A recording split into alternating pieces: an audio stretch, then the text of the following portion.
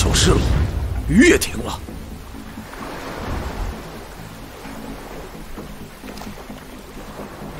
不，姐姐，姐姐！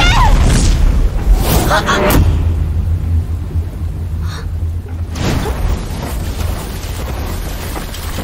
他的拳头和电击，竟然让姐姐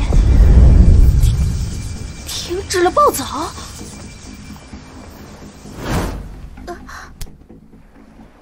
快醒醒吧，小屁孩！竟敢叫我！下次再这么胡闹，真的会打下去。我……喏，你的雨伞，还你。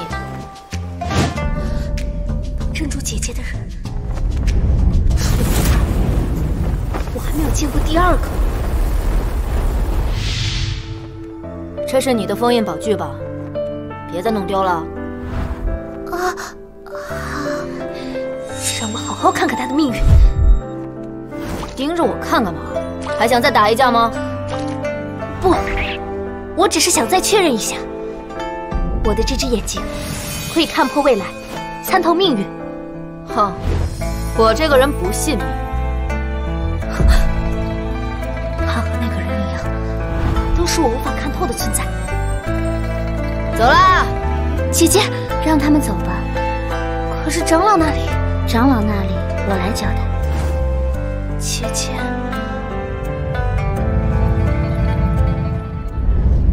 那家伙确实是日天，但不是我们要找的十号。真的假的？那他人呢？已经放走了。什么？往哪个方向跑的？那边。好小子！竟然还敢走水路，他跑不远的，追！姐姐，这样真的好吗？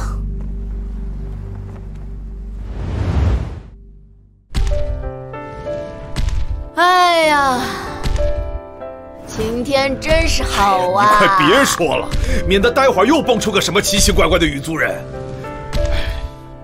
对了，你被那个大怪物叼走之后是怎么逃出来的？那大鱼龙可不是一般的怪物，我当时使出浑身解数都没办法挣脱，最后关头只能把最后一颗元气凝聚的尸头给剥离出来。怪物果然冲着灵气更浓郁的尸头去了，我这才趁机逃出来。那大鱼龙绝对是这个压制境界的百断山里最顶级的存在，听着还蛮刺激的。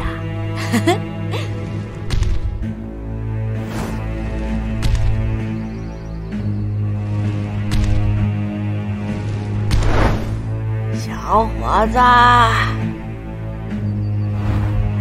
怎么有个老婆婆？这里可是很危险的。不好，快逃！怎么了，九头？你是被鱼龙吓傻了吧？连老奶奶都害怕。哎呀，正是因为老奶奶，所以才更可怕。百断山脉是数百年才会开启一次的洞天福地。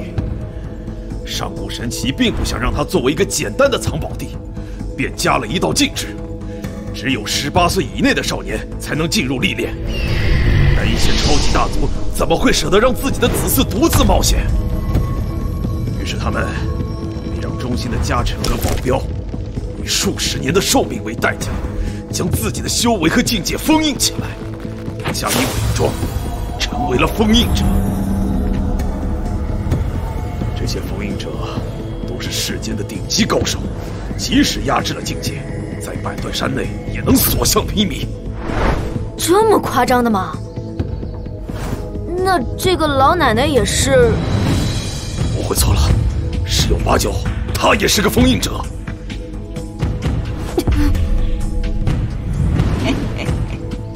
总算找着你了，日天，还是该叫你十号。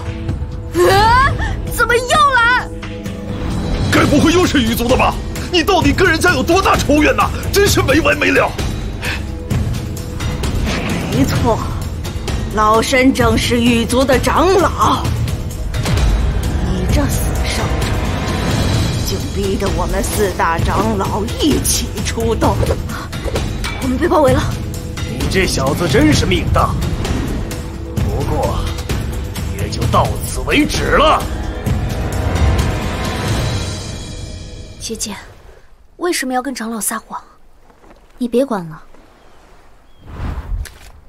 姑娘们，在说什么悄悄话呢？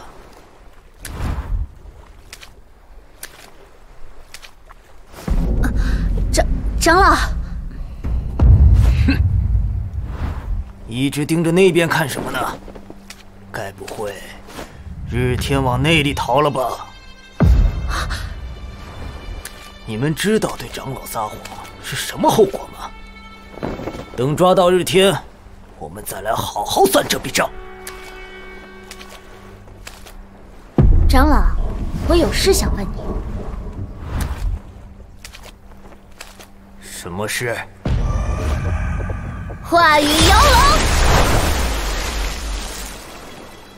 当年的事，是谁指使？你竟敢这样对我，真是反了！那你们当年又怎敢这样对我们？啊，姐姐，你在说什么？竟然对一个八岁的孩子做出如此惨无人道的暴行！你们真的是我的亲人吗？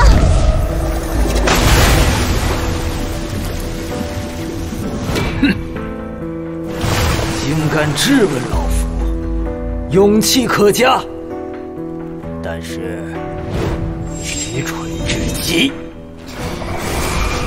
姐姐，什么以前的暴行？八岁的时候到底发生了什么？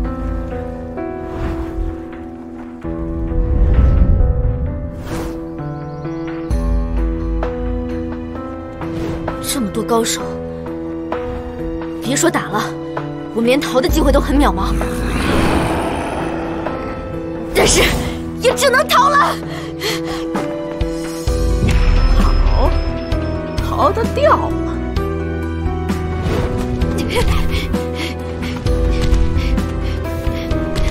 那边是那老家伙的方向，就交给他吧。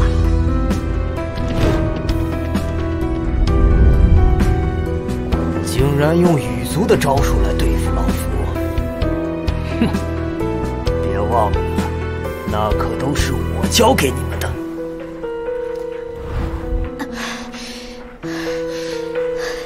姐姐，到底是怎么回事啊？这你就得问问咱们慈祥的长老们了，问问看他们当年对我们做了什么好事。老夫还有要事，实在不想听你这丫头说些胡话。